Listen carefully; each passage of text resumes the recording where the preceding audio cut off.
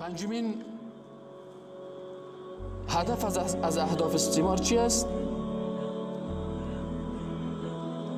تخریب فرهنگ اسلامی است. باید فرهنگ اسلام نباشد. امیال بسیاری مردم است. دمی, دمی افغانستان ما و شما. پرسان بکو بگو امی صبح. روز نو چند بجه شروع میشه؟ ای ایم و پی در بین مردم رواج ساختن یا نساختن؟ نمیگن که دوازده بجه دوازده بجه شو روز نو شروع میشه.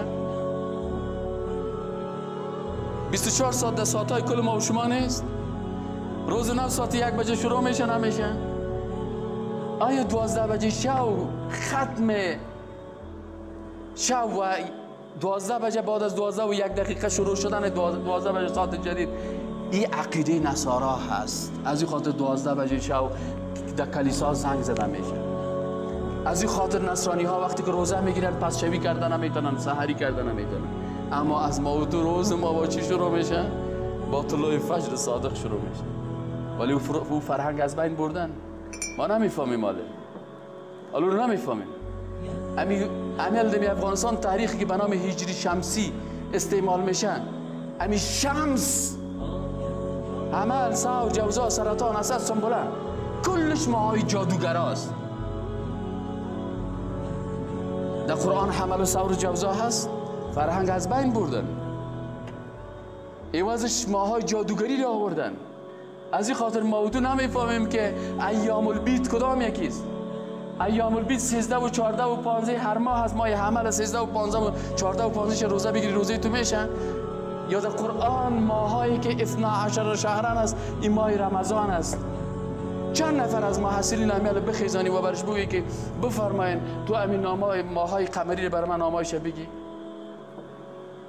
امیال اگه برش بگی که بخی نامای میلادی رو بگی. از از از نصارا را بگی برای بسیار خوب میگه که این سپتامبر است یک اکتبر است این فلان است این فلان است. امیال بسیاری کسا است اگر امیال پرسان تو پرسانش بودی بگو هجری قمری را که صحابه کرام اجماع کردن بالا از او. و پیغمبر خدا گفته که علیکم به سنتی و سنت الخلفاء الراشدین. بالای شما علیکم اسم فعل امر است. یعنی بالای شما واجب است که شما طریقه خلفای راشدین بگیرید خلفای راشدین به هجری شمسی اجماع نکردن. با چی اجماع کردن به هجری قمری. چند نفری رو می‌فهمن از این خاطر یکی یکی یکی, یکی از اهداف سماجی است؟ از بین بردن فرهنگ اسلام است. فرهنگ اسلام چی است که وقتی که اتاتورک اوج مصطفی کمال کامیاب شد اول گفت که باید خط عربی از بین برداشته شده. چرا؟ گفتن خط لاتین برین. چرا؟ به خاطر که مسلمان زود قرآن یاد نگیره. حتی در تاجیکستان تاجیکی را همین دری که ما و شما داریم ایران به الفاظ روسی نوشته می‌کنه و متاسفانه ما و شما اینی گپا را دقیق سرش فکر نمی‌کنیم سر از این نقاط باید انسان فکر بکنه که روز به روز اونمو, اونمو فرهنگ اسلام آن یکی فرهنگ افغانا هست یکی فرهنگ اسلام است ما مکلفیت داریم که با آنچه که اسلام برای ما وظیفه میده. آنچه که پیغمبر کردن آنچه که صحابه کردن به عمل بکنیم. ششمی مشکل چی از ششمی برنامه از برنامه های استعمار. تخریب چهره های اصیل اسلامی است.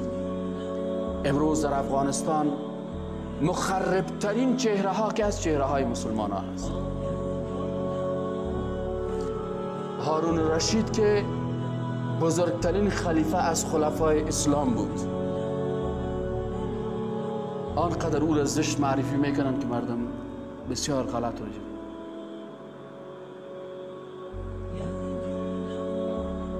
بین پایانتر از او شخصیت های دیگه. محمد ابن عبدالوهاب ما یک کتاب دربارش نوشته کرد. محمد ابن عبدالوهاب یک کسی بود که او عقیده اسلامی را و دعوت اسلام از جمله کسایی هست که یک دعوتگر اسلام که گفتن باید ما عقیده ما مثل عقیده رسول الله صلی الله علیه و سلم باشه امروز آنقدر او را تخریب کرده که بسیاری کسا ما یک وقت کتاب نوشته کردم و این کتاب ما نشر شد. باور بکو بسیاری کسا از خواندن از این کتاب می ترسیدن. بسیاری کسا نام گرفتن نمی‌تونست. بسیاری کسا تا اینمیال خود شور دادن نمی‌تونه